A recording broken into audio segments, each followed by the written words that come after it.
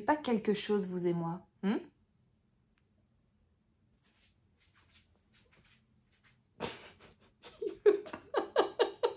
Il veut pas. Oh là là, Yumi Mais on va pas attirer les likes, les sponsors et tout si jamais tu n'y mets pas du tien aussi. Allez, juste pour l'intro Pourquoi? Euh, Du coup, maintenant, j'ai sali mon t-shirt pour rien. T'es pénible, hein, quand même. Et c'est qui qui te paye les croquettes? Tu peux pas un peu donner de ta personne, non? Oh là là, je vous jure. Bonjour à tous, on se retrouve pour une nouvelle semaine de vlog. J'espère que vous allez bien, j'espère que vous avez passé un bon week-end. Le mien, oui, il fut bon. C'était un week-end prolongé de 4 jours. Ah, et ça a fait du bien. Vraiment, ça m'a fait vraiment du bien.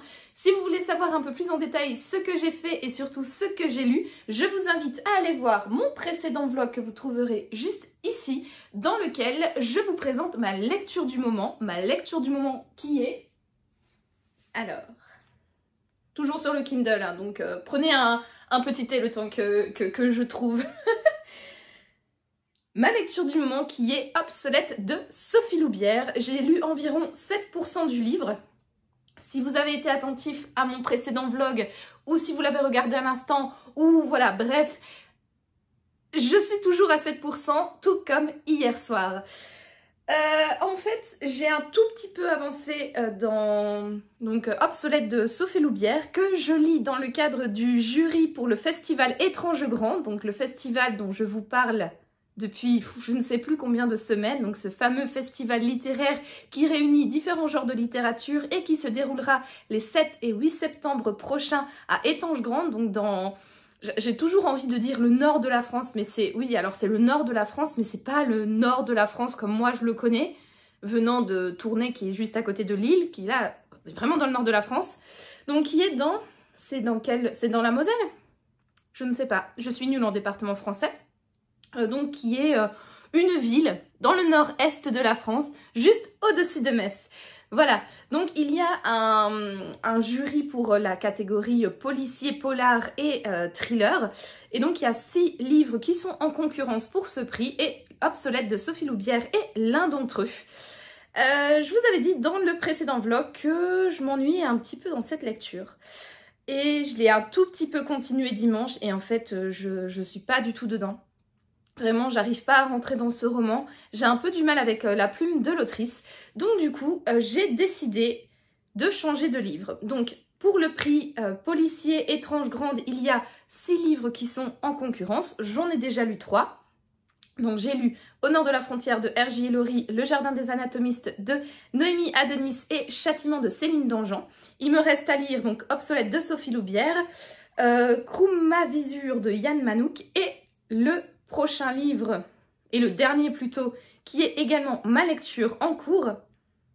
Et, attendez que je vous mette la couverture, c'est toujours un peu long, hein. Euh, comme je vous l'ai dit, prenez un thé, prenez un thé.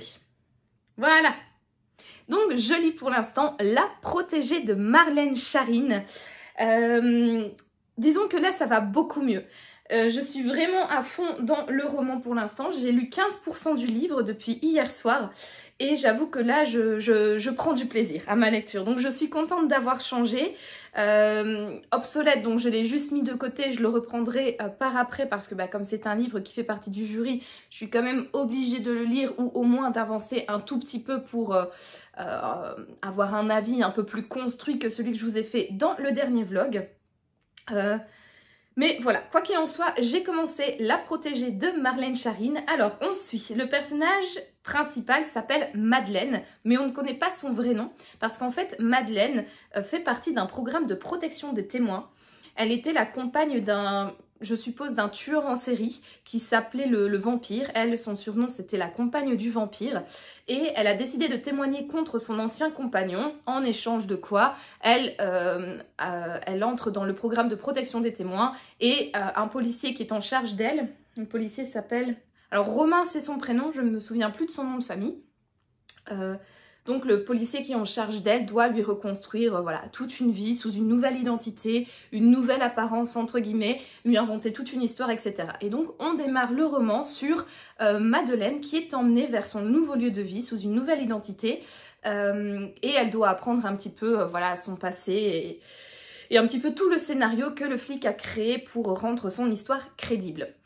Elle est emmenée dans un manoir qui est situé... Hmm, je crois que ça doit être dans le sud de la France. Je sais plus où exactement.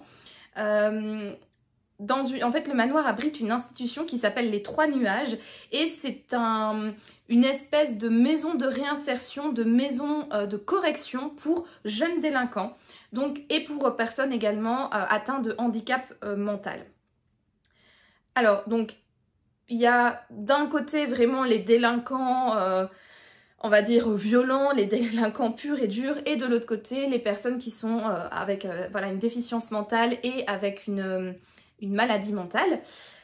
Donc on va dire, il y a, comme il l'appelle dans le livre, les oursins, donc qui sont des personnes un petit peu agressives mais qui ont sans doute un petit cœur moelleux à l'intérieur, et les autres c'est les pains de mie qu'ils les appellent. Donc voilà, en gros, il y a deux catégories d'élèves, les un peu plus chauds et les un peu plus euh, normaux, dociles, etc. Bref, du coup, Madeleine a été engagée en tant que prof dans cet établissement.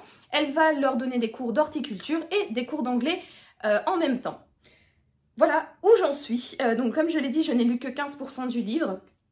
je suppose que au plus on va avancer dans le livre, au plus on va en apprendre plus sur son passé. Donc pourquoi elle était avec le serial killer, quelle était son implication dans les meurtres, les enlèvements ou tortures qu'il a commises. On ne sait pas en fait vraiment ce que le, fameux vampire a commis comme crime. On sait juste que... Euh, enfin... Euh, d'après ce que j'ai compris, elle n'aimerait pas les enfants et elle en aurait déjà poignardé plusieurs. Alors je sais pas du coup si euh, le vampire s'attaquait à des enfants, des adolescents ou à des adultes. Je n'ai aucune idée là-dessus. En tout cas, moi, de ce que j'ai lu pour l'instant, j'ai l'impression que c'était sans doute un, tueur d'enfants, un tueur d'adolescents et qu'elle, elle l'aidait dans ses crimes. Mais pour l'instant, je n'en sais pas plus, c'est juste des suppositions. Donc je suppose qu'au plus je vais avancer dans le roman, je vais en, savoir plus du coup. Euh, sur le passé de cette Madeleine et de son histoire avec le vampire. Et je suppose qu'il va également euh, y avoir une histoire avec euh, les élèves, je suppose. Je ne sais pas trop, euh, voilà, je ne sais pas trop dans quelle direction va s'orienter le roman. Je n'ai pas lu la quatrième de couverture, donc je ne pourrais pas vous dire, voilà, un peu plus de l'histoire. Je vous raconte juste ce que j'ai lu pour l'instant et mes suppositions. Voilà. Alors pour l'instant, je dois dire que j'aime beaucoup. Je trouve que la plume est extrêmement agréable, en tout cas plus agréable que celle de Sophie Loubière. Euh, j'ai tout de suite réussi à m'immerger dans le roman. Vraiment, euh, dès le premier chapitre, j'étais dedans. Euh, j'ai lu quand même pas mal hier soir alors que j'étais quand même claquée mais j'ai enchaîné je pense trois chapitres. Dans le bus ce matin j'en ai enchaîné deux autres. Ce midi j'en ai lu un également aussi assez rapidement. Ça se lit facilement, ça se lit pardon facilement, ça se lit rapidement, c'est agréable. J'attends de voir euh, du coup ce que euh, ce roman va donner. Parce que euh, j'ai déjà lu un livre de Marlène Charine. Attendez, je me retourne à ma page. Voilà. qui doit se trouver... Mince, bon c'est pas grave, j'ai fait encore une bêtise avec mon Kindle. Décidément, moi et la technologie... donc, je disais, oui, j'ai lu un livre de Marlène Charine. Où est-il? Euh, il est noir, donc il doit être avec mes livres noirs. Peut-être ici ou peut-être là au-dessus. Oh non, si c'est là, j'ai un peu la flemme. Bon, attendez. Je vais faire euh, pour vous. Je vais partir dans les fouilles archéologiques de ma bibliothèque. J'ai pas trop envie, j'ai un peu la flemme, mais écoutez, pour pouvoir vous lire le... Euh, alors, j'ai toujours le quatrième de couverture, je me suis rendu compte de ça, alors que pas du tout, c'est la quatrième de couverture. Bon bref, c'est pas grave. Pour vous lire le résumé, je pense que je fais du coup la, confusion entre les deux. Euh, pour essayer d'être un peu plus professionnel euh, sur le livre euh, dont je vous parle. Alors, est-ce qu'il est là? Non, il n'est pas là. Donc il doit être au-dessus. Hop, je remettrai mes décos après. Hop, mes petites soum soum, mon ma petite carte du prix des lecteurs 2022 jury polar la petite photo avec les autres co-jurés. Alors, ah bah tiens, l'enveloppe qui contenait le petit badge. Euh, bon, allez, les petites plantes, on va les mettre de côté. Ça va, c'est pas trop long Mais vous avez un thé de toute manière, donc euh, allez-y, buvez pendant que je, pars dans les fouilles archéologiques. Alors, euh, ça doit être celui-là, non? Oh, Je suis trop petite en plus, oh là là, c'est la misère Non. Hmm, mince alors Ben je sais pas où il est. Ah, je parie qu'il était là en dessous. Mais non, ça c'est les livres blancs. Hmm. Qu'est-ce que j'ai fait? Je fais encore des bêtises. Il devrait être là. Bah non. Ça tombe. Putain, il était devant. Je suis débile Il était devant, il était là. Oh là là. Non mais franchement, tout ça pour. Ridicule. Bref, comme je disais, c'est pas la première fois que je me tourne en ridicule sur cette chaîne. Et comme dirait mon mari, oui, et c'est pas la première fois que tu te tournes en ridicule tout court.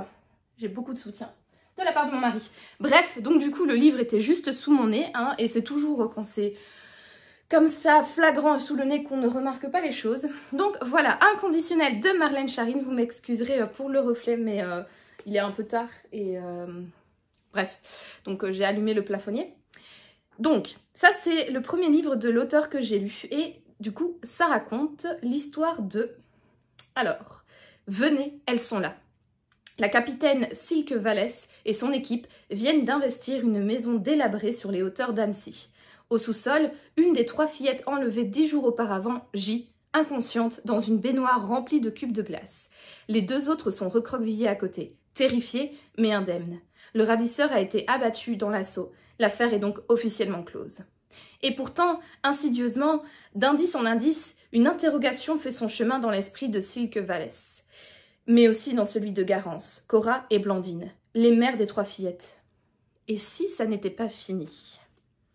Voilà, donc ça, je l'avais acheté euh, en 2022 à Iris Noir. Le roman est d'ailleurs euh, dédicacé.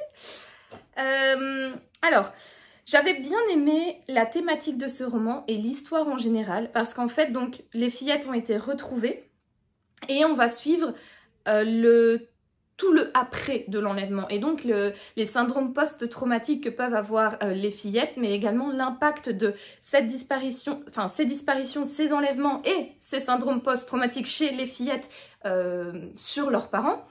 Voilà, donc euh, j'ai trouvé ça hyper intéressant de voir pour une fois le après d'une enquête policière, euh, toutes les, du coup, les, marques indélébiles en fait que cette enquête a fait sur la famille, d'autant plus que là il y en a, il y en a une pardon, qui gît inconsciente, donc qui va être hospitalisée et mise dans le coma, et donc il va avoir une tension entre les différentes mères parce qu'il y en a deux qui n'ont presque pas subi de sévices. Par rapport à celle qui est dans le coma qui en a subi énormément, donc il va avoir des jalousies ou en tout cas des conflits et des, des remarques qui vont un peu voler entre les différentes mères, d'autant plus que euh, c'est toutes trois des femmes de milieux sociaux différents. Euh, c'est toutes trois des femmes avec des histoires différentes. Il y en a une, euh, elle a élevé sa fille toute seule, l'autre elle est divorcée, l'autre ils sont mariés, il y en a des riches, il y en a des pauvres, enfin bref. Donc c'est vraiment trois femmes totalement différentes que rien dans la vraie vie ne relie, mais qui vont s'unir en fait à cause du, malheur qui est arrivé à leur fille. Et donc j'ai trouvé tout ce pan de l'histoire extrêmement intéressante. En revanche, Hey, on se retrouve, on est le lendemain et je vous reprends parce que je me suis rendu compte en exportant le rush d'hier que la fin de ma vidéo était totalement floue. Alors je ne sais pas du tout ce qui s'est passé, euh, j'ai eu sans doute un petit problème technique ou alors j'ai peut-être postillonné sur la caméra sans m'en rendre compte. Et du coup la, la fin de ma vidéo est totalement floue. Alors on entend très bien ma douce et mélodieuse voix mais en revanche, euh, niveau image, je sais pas trop ça et donc je me suis dit pour que vous passiez un bon moment en ma compagnie, pour votre confort visuel, j'allais vous retourner euh, la fin de la vidéo et donc vous donner euh, la fin de mon avis sur le livre inconditionnel de Marlène Charine qui est juste là. Maintenant, je, connais son emplacement. voilà, donc on bouge la zoom zoom et on prend le livre. Donc je vais reprendre là où j'en étais. Je disais donc, pardon, en revanche, je n'ai pas été extrêmement convaincue par l'intrigue parce qu'en fait j'ai trouvé qu'elle se déroulait très lentement, qu'elle était également très répétitive, qu'on tournait un petit peu en rond au niveau des éléments. J'avais vraiment l'impression que l'autrice voulait que son roman soit beaucoup plus dense, beaucoup plus, euh, beaucoup plus long et qu'elle savait pas trop comment... Euh, développer son histoire et donc qu'elle euh, voilà qu'elle tournait un petit peu en rond, ça m'a un petit peu agacée. Je me souviens que je me suis un petit peu ennuyée euh, vers la fin de ce roman. J'avais vraiment envie d'arriver à la conclusion. J'étais là, je tournais les pages. Bon, on a déjà vu ça, on a déjà vu ça. Allez, avance un petit peu, cocotte. mais cela dit, j'ai vraiment été convaincue par la fin de cette histoire. Donc, on termine sur un point positif et ça, c'est vraiment génial. Je me souviens que la, la conclusion, que la révélation finale, que les retournements de situation, euh, j'avais vraiment bien apprécié.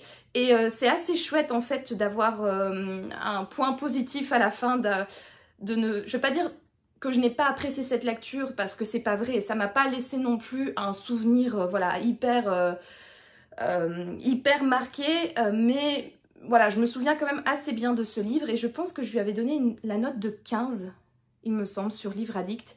Donc voilà, somme toute, c'était une bonne lecture. Elle n'était pas transcendante, mais c'était une bonne lecture. Et je pense que je le dois notamment à la fin qui m'a extrêmement convaincue.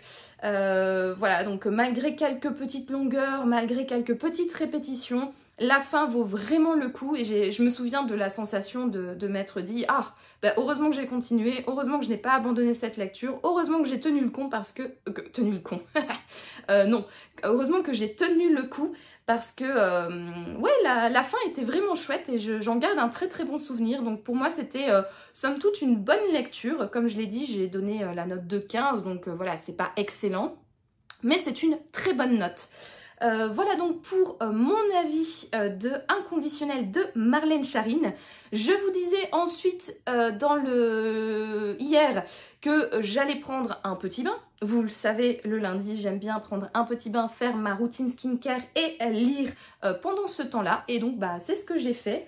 Qu'est-ce que je vous disais d'autre encore hier? Euh, j'aurais peut-être dû euh, réécouter un peu plus attentivement mes bêtises. Euh, oui, non, je vous disais aussi que voilà, cette lecture, je l'avais bien aimée. J'avais trouvé qu'il y avait donc quelques petits défauts et j'espère que ces défauts, je ne les retrouverai pas dans ma lecture du moment qui est donc La protégée de Marlène Charine, donc de la même autrice. j'espère vraiment que cette fois-ci, je n'aurai pas cette impression de tourner en rond, que je n'aurai pas cette impression de lenteur et surtout voilà, j'espère vraiment que mon, attention et que euh, je vais pas avoir cette sensation de d'ennui, quoi, au plus j'avance dans le livre. Donc voilà, je pense avoir bien rattrapé euh, tout mon blabla euh, que j'avais dit hier. Je suis, nette? Ouais, ouais, c'est bon. c'est bon, ça a l'air net en tout cas, enfin, ouais, là, sur l'écran, parce que, comme dirait mon mari, non, dans la réalité, je ne suis pas très nette comme fille. Ouais, jour du mariage, hein, vous savez. Enfin bref, voilà, donc je pense avoir euh, bien rattrapé tout cela avec vous. Et cette fois-ci, euh, de manière totalement nette, je vous dis donc à plus tard. Bon monsieur, est-ce qu'un jour vous allez être, un petit peu plus sociable et apparaître comme guest dans mes vlogs? Non mais t'es au courant quand même que les chats ça apporte des likes? Hein? Est-ce que tu veux pas être sponsorisé pour, euh, je sais pas, une marque de croquettes et de, et de bonbons, non? Ça te donne pas envie? Ben moi, ça me donne envie, hein, mon petit père. Hein? Bon, t'es mignon. T'es quand même mignon. Je t'aime, petit oui.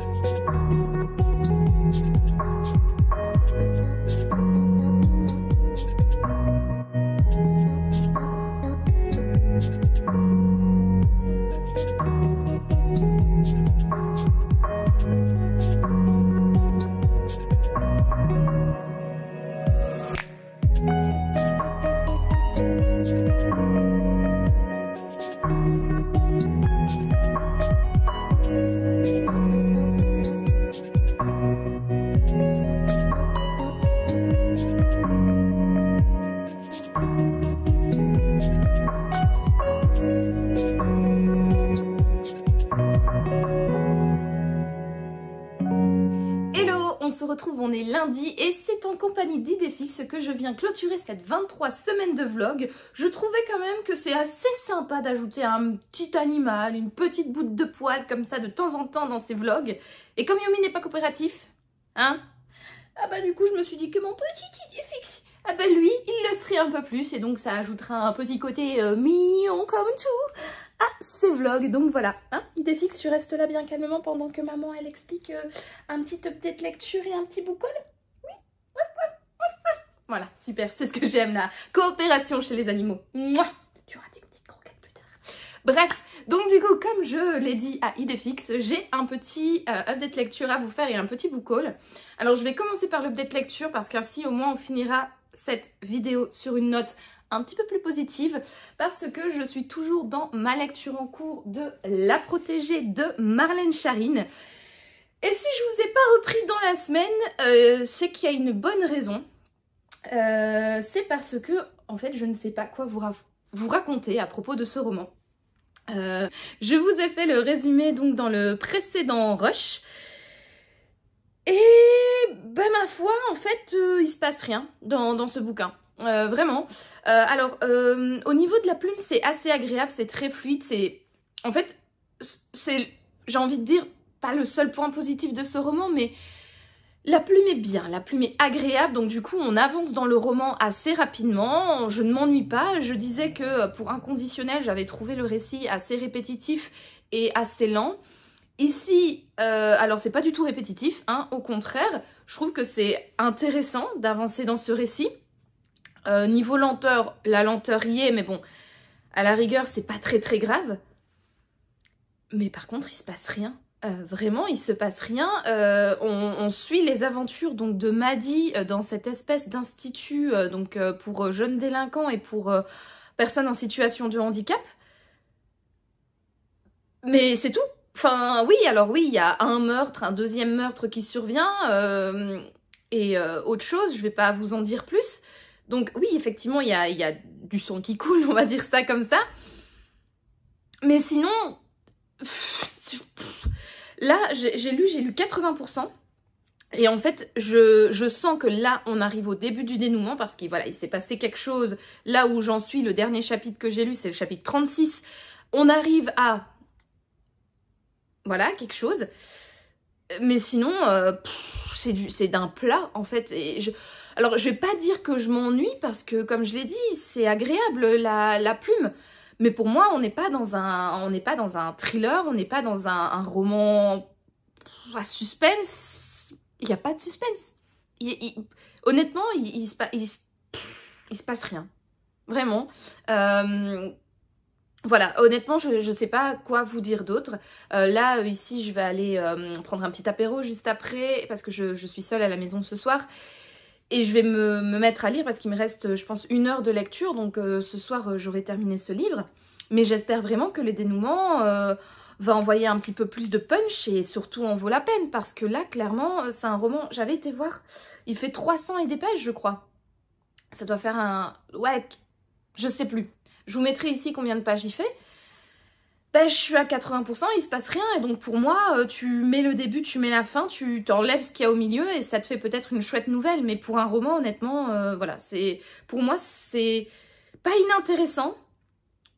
Mais c'est pas un roman policier, euh, c'est pas un thriller ou en tout cas, pour moi, c'est pas du tout le type de lecture que, que j'apprécie. quoi. Moi, j'aime bien quand bah voilà, on est dans un roman qui est du suspense tout du long, que l'auteur nous envoie sur des fausses pistes, que l'auteur euh, nous berne, que l'auteur euh, nous voilà, nous fait penser certaines choses et puis euh, lors du retournement de situation, bah, c'est complètement l'inverse qui se passe.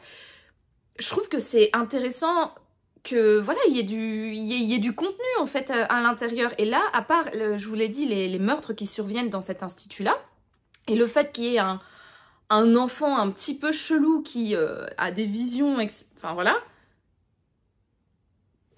Ouais. Honnêtement, euh, je vais être un petit peu plus incisive ici dans mon avis, mais euh, pour moi, aucun intérêt. Vraiment, ouais. Je, je, je pense clairement que si je l'avais acheté, ce livre-là, J'aurais vraiment regretté d'avoir acheté le livre euh, parce que ça aurait été... Euh, donc là, il est en grand format, hein, aux éditions euh, Calman Levy. Ça aurait été clairement 20 euros de dépenser, mais pour, pour rien. Voilà. Après, ça n'engage que moi, ce n'est que mon avis. Euh, comme j'ai dit, il y a quand même des points positifs. La plume est quand même agréable et l'histoire, en un sens, est intéressante. Mais le côté euh, suspense, policier, thriller, non, on oublie, clairement. Et alors, je trouve aussi qu'il y, a également des incohérences dans ce roman parce que, donc, Madeleine, je vous l'ai dit, elle, est, elle fait partie du programme de protection des témoins. Et elle est toujours en contact avec un flic.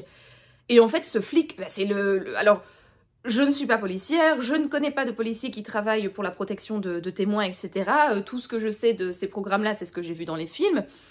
Mais ce que je vois dans les films, euh, les policiers sont quand même plus intelligents que celui qui est, ici dedans. Le mec, il se fait repérer par tout le monde. Tout le monde se doute qu'il travaille dans la protection de témoins.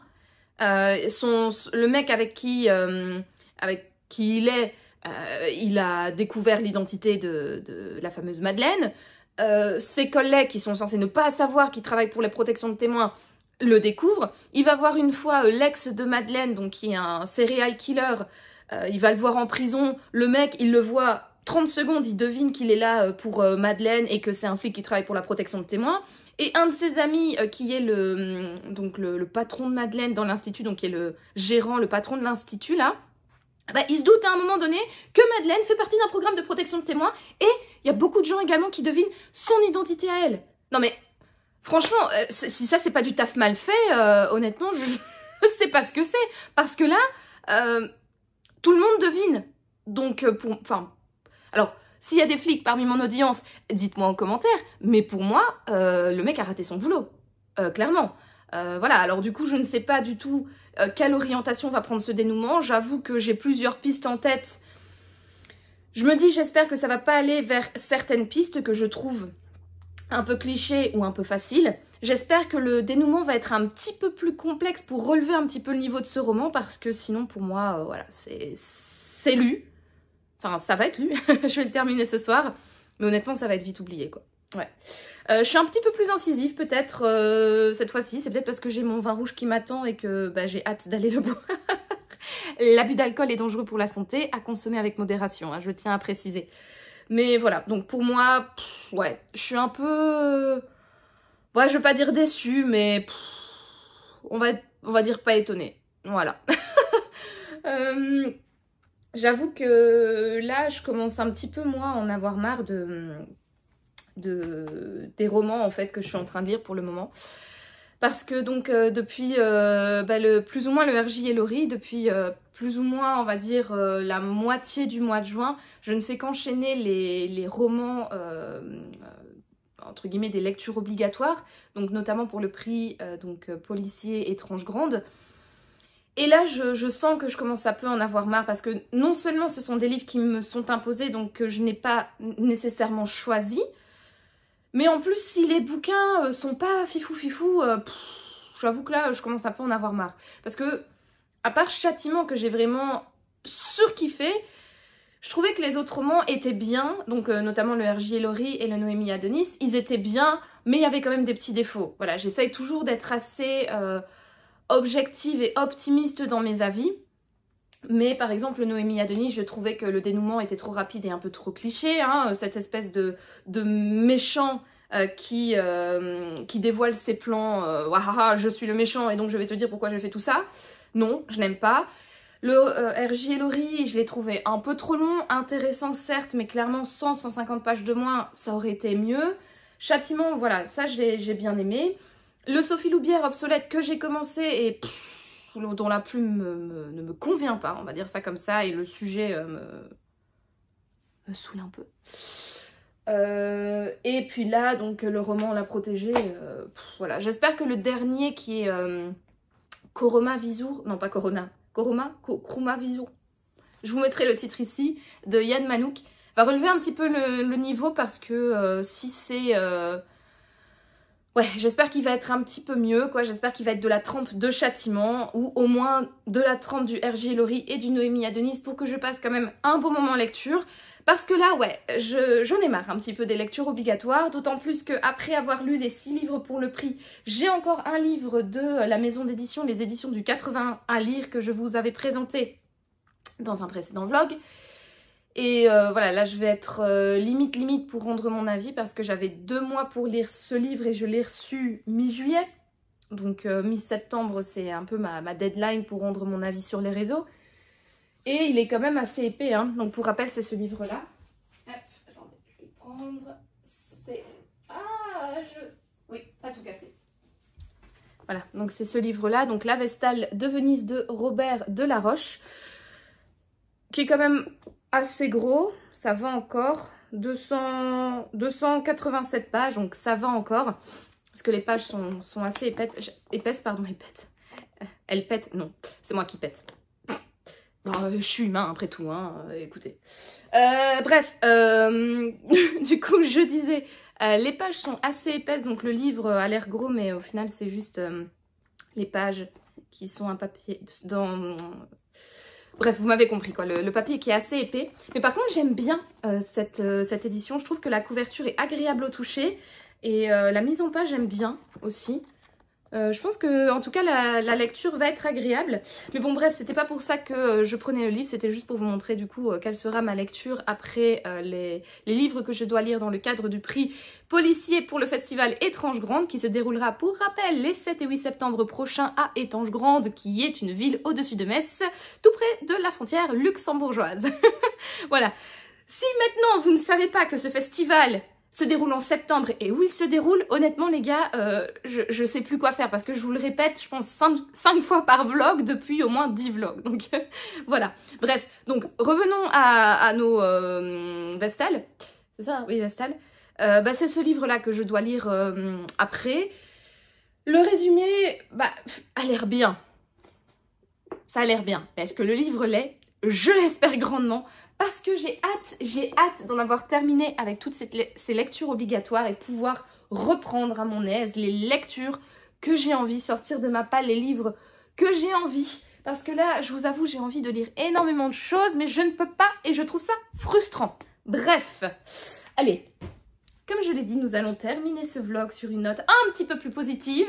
Je vais arrêter de râler parce que là, je vais vous présenter euh, deux livres que j'ai achetés parce que samedi, c'était euh, le book club, le Luxembourg Club. Donc j'ai vu mes copines Sophie, Sabrina et Stéphanie. D'ailleurs, coucou si vous passez par là. Et nous sommes euh, allés bruncher. en ville et puis nous sommes bien évidemment passés en librairie.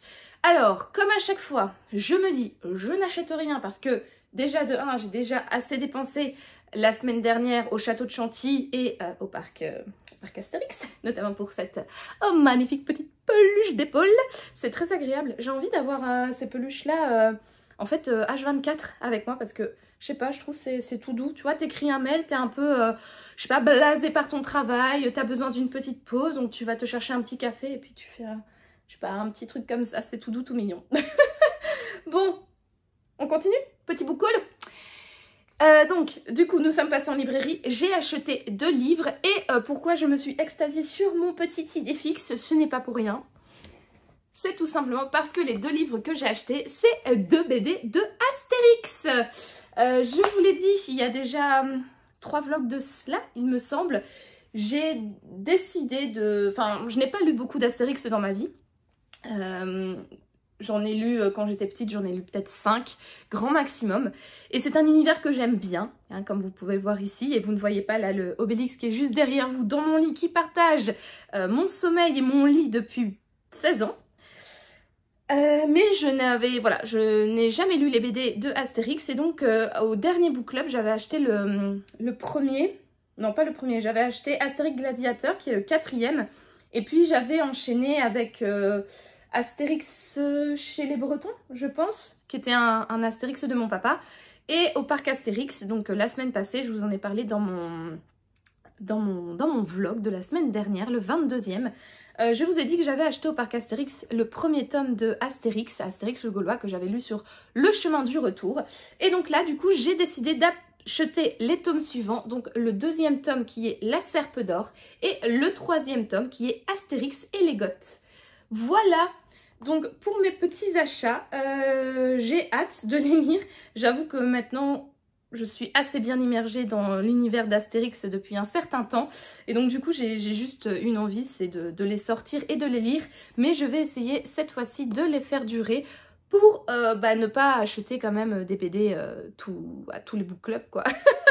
Parce que voilà, j'aimerais bien m'y tenir quand même une fois ce petit no-boy à chaque fois que je dis non, cette fois-ci je n'achète rien.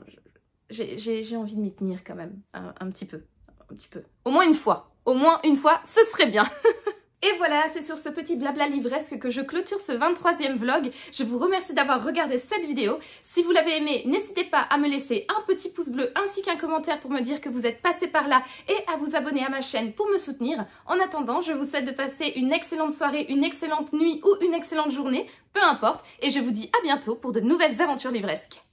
Ciao